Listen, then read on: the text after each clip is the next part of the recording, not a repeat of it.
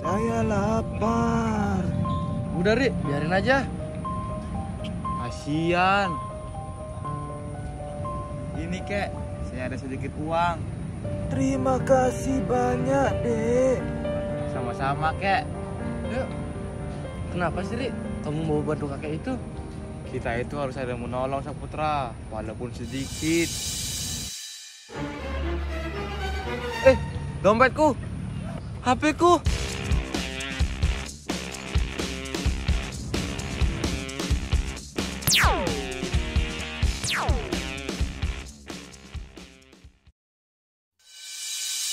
HP-ku. Ri, HP-ku, Ri. Tapi dia udah jauh. HP-ku. Uh-oh.